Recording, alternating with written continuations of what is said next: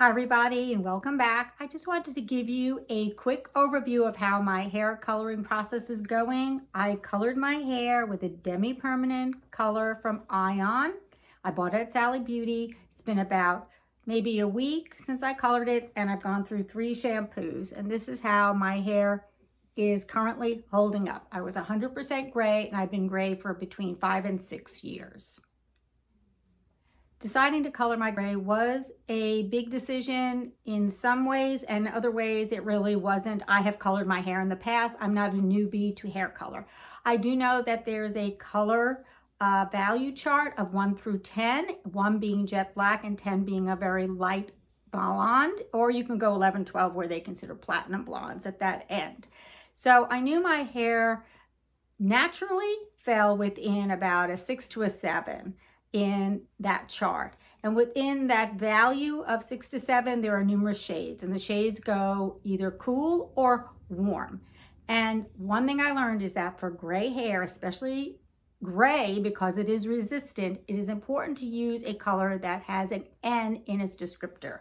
So even though you might see on that 1 through 10 chart, it says it's a natural, which is N, you need to make sure that in the color that you're choosing, that it is a neutral tone that you're buying. They are much more uh, useful to resistant grays because they are adding back in the yellow that your gray hair is missing. I did not know this until recently. I'm glad I researched it and it really worked out a lot better when I was choosing a color to, color, to do my hair in.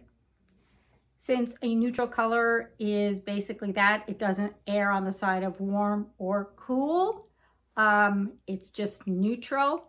I was able to then decide whether it was going to work with my skin tone. Now, if it if I had to go with a cooler shade, I would use a neutral ash. That would be someone who has maybe a ruddy complexion, a pink, a fair complexion, and the ashiness in the color would work well with their cool skin tones.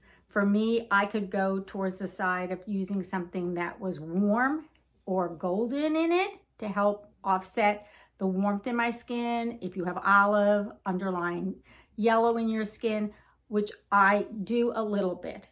And I wanted to, though, keep it super neutral because this was the first time I was going to color my hair since it went gray. My skin color has gotten paler, but I was not sure how far in which direction to go, if either. I tend to lean towards the warm, but my safest bet was just to keep it neutral for my first time experience with the demi-permanent hair color. So everyone has seen the numbers that are attached to hair color, and this is based on a universal hair color level system. So the level system has 10 numbers, and those numbers help determine the depth level of your natural or virgin hair. This is hair that has never been colored. And within those numbers, you now have different things such as shades and tones that they work with. So keep in mind, number one is going to be the darkest hair color, and 10 is going to be the lightest hair color. For example, you might see for A, for G, or for N hair colors. And the A is for an ash or cool tone added to the dye. The G is for a red warm tone added to the dye. And N is for a yellow tone added to the dye. Gray hair is missing the yellow pigment, so you must add the N back in, or the gray roots will still not be the right color and appear faded. One thing I did learned from the Ion site by people writing reviews was they felt the Ion came on very dark. So they said to pick two shades lighter than what you would normally want to do. And since I'm between a seven and a six, I'm sorry, my air conditioner just went on.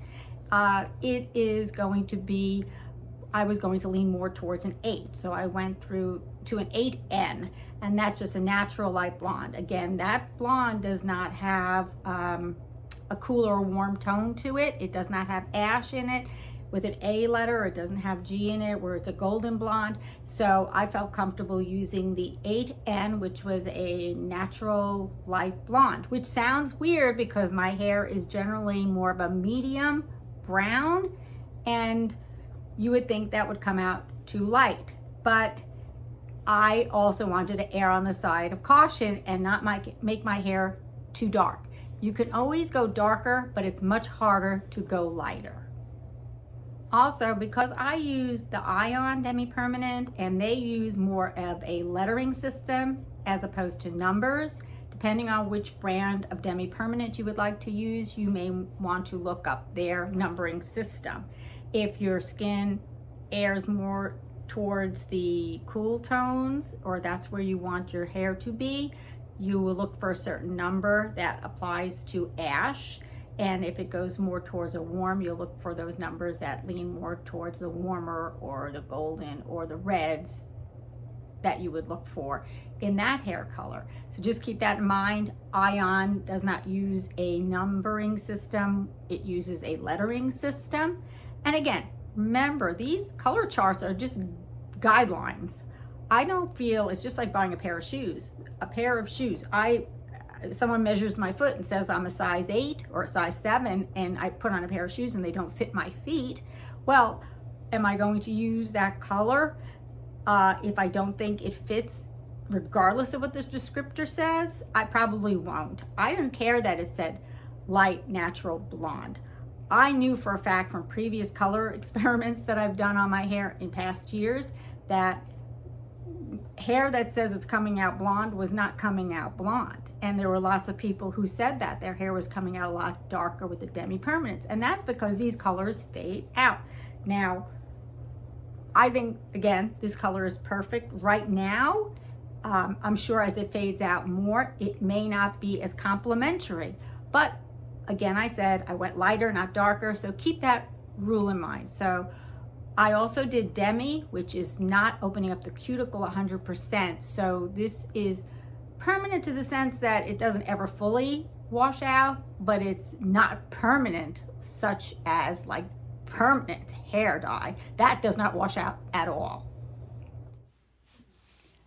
My number one rule to follow, though, I would always pick out my hair color by going lighter than darker. This is especially true if somehow the results fall short.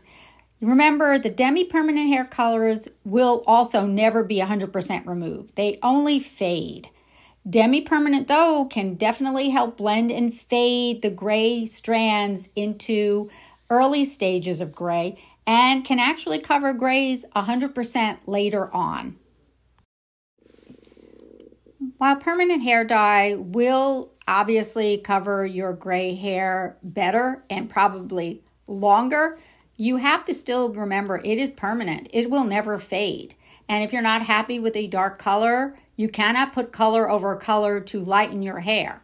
Also, you risk that line of demarcation on your uh, top of your head, which is going to be much more noticeable, especially if you are using a dark color.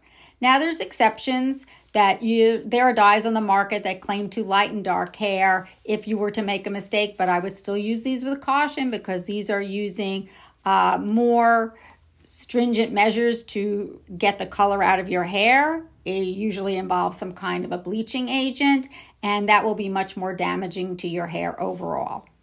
One other thing I learned about gray hair was that you can help prime your gray hair in certain areas so that the color will take better. One of those things was called softening the gray. So you could take a little bit of developer. I did 10 volume developer. I put on a little cotton ball and I wiped it on areas that would be more resistant to hair color, such as my hair here on the sides by my ear. Um, I did not really cover too much in the front here. I do have a little bit of a streak that comes in every so often towards the back where we tend to have that dark, I call it a little skunk line. Um, you might have a, a line where it's uh, pure white and then it gets dark again. So you might want to color over those areas just using 10 Developer. It's not combined with the color and it's not just straight color. It's only using the developer on those resistant grays and it's called softening the grays. The best trick you can do is to soften grays. That means you're going to prime the resistant gray areas with straight developer.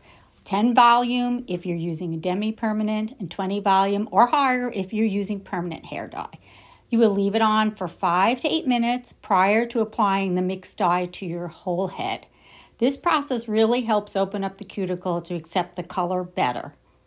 My piece, I feel that you need to go and find out what your natural hair color is, figure out what your complexion is, whether it's cool or warm, find out um, whether you're going to use demi-permanent or permanent hair color because they both work differently on your hair. Stick with something that has an N in it if it's a numbering uh, lettering system, or I believe uh, it's a zero if you're using a numbering system for neutral, where it's going to add back that yellow that you're missing from your gray hair, and it helps with resistant grays. One thing I can say is don't be in a rush to make any uh, rush decisions on coloring your hair if you feel unsure or skeptical. You can always find, find semi-permanent color and you can do a quick color change by using that. Fanciful rinse really works well if that's what you're looking for. You could try that and they come in multiple colors. All you do is you wash your hair, towel it dry, you pour it on your hair, you leave it in your hair, you dry it with a hair dryer and it will produce that color in your hair. And you can get a fairly good idea of what that color will look like. And if you're not happy, it washes right out. There is a no commitment with the fanciful rinse. So that's one way that you can try out hair colors prior to committing to anything. And they have more of the natural hair colors that most people will want to use on their hair. Another thing is just keep in mind that your skin has gotten lighter. Uh, you have to decide whether you lean more towards cool or warm uh, as far as your facial or as far as whether you want to add that cool tone, which is an ash tone into your hair color versus a warm tone into your hair color. One thing that ash does is it does not uh, reflect light. It absorbs light, so your hair seems less shiny. When you use a warmer tone, it does look shinier. And so that's something you might want to consider. And also you want to make sure you take care of your hair properly after you color it. You may still have to use purple shampoos. If you go towards a brown, you might have to look through a, for a blue shampoo that will now help offset if you get any brassiness. I more of an orange in your hair. I shouldn't say brassy. Sometimes people brassy and yellow goes with the blondes. This is more like of an orangey color in your hair that you want to get rid of. You'll use a blue shampoo. So these are my tips and tricks that I found helpful after looking through many websites. I hope this helped you. It was a quick overview and have a great week and I'll see you next time. Bye.